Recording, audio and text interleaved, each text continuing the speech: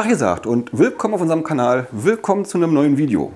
Wir zeigen euch heute, wie ihr aus einer solchen Kellnertasche mit nur ein paar Modifikationen einen annehmbaren Seitenköcher bauen könnt.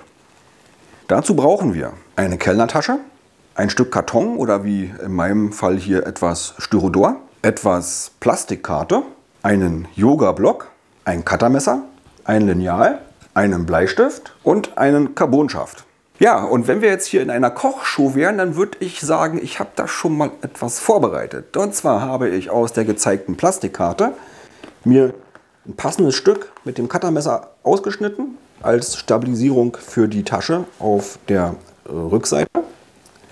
Aus dem gezeigten Styrodor habe ich mir eine Art Schablone gebaut, um auf die Höhe dieser Tasche zu kommen.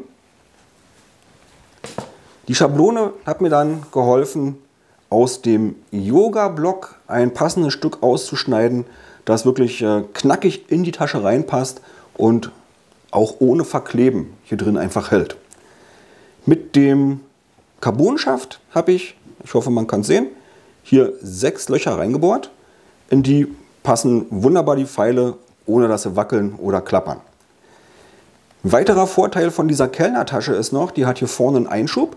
Da könnte man zum Beispiel im Turnier die, äh, die Kladde reinpacken mit der, mit der Punkteliste.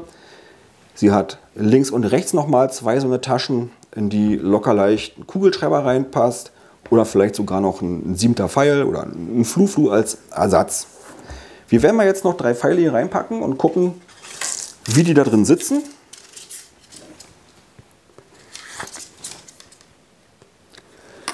So, lassen sich auf jeden Fall ja, super hier drin unterbringen.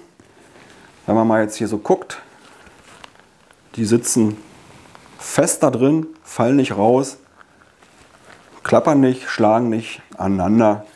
Und äh, damit ist es, denke ich, fast ein vollwertiger Köcher für, für eine Parcoursrunde. Ja, das war's schon wieder heute. Lasst uns einen Daumen nach oben da und wenn euch das gefallen hat, das Ganze hier, freuen wir uns natürlich über ein Abo. Bis zum nächsten Mal. Ciao!